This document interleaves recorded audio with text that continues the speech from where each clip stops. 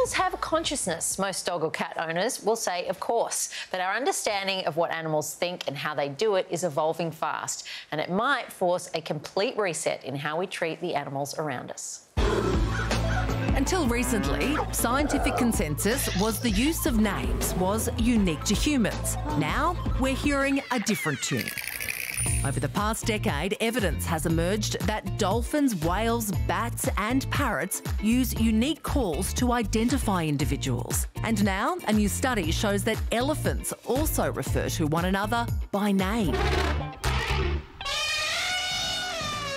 It gives us an indication, and they're not just predisposed by their genetics, but they're taking information from the environment, thinking of it consciously, then reacting accordingly. In the past, it was thought that any signs of consciousness in animals were a result of humans projecting their own traits onto creatures, and there was no way to test what happens in the animal minds.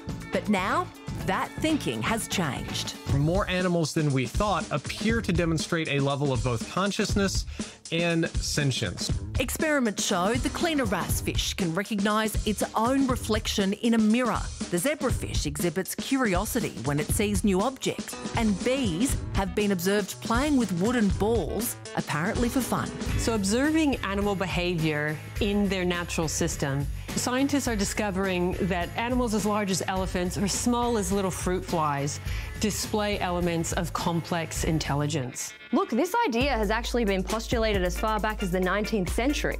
I believe it was Charles Darwin who said there was no fundamental difference between humans and animals in their ability to feel pleasure and pain, happiness and misery, which will be news to my ex boyfriend.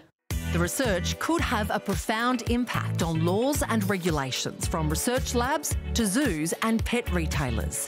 So historically, it's been very convenient for humans to view themselves at the top of the pyramid of life, like we're the apex of evolution. But we're realizing that actually a lot of them aren't that different to us. So is it time to re-examine how we view our fellow beasts and what role they play in society? Honestly, anything that gets me out of this dead-end IT job is fine by me.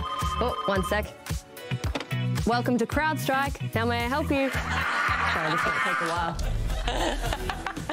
You've always known this, right? Yeah. Do This animals is- have consciousness? Oh, this is the best. Finally, we have science to prove what I think so many of us have known for so long. I mean, of course, our dogs and our cats, and, and we know how intelligent creatures like elephants can be. But I work with crocodiles every day, and they are smart. They recognize you, they learn, they remember, they have personalities. Really? But the way they show it is, is so different. You know, your dog or your cat comes home with their tail wagging, but a croc is striking out trying to eat you. But they're still having fun. They're still enjoying themselves.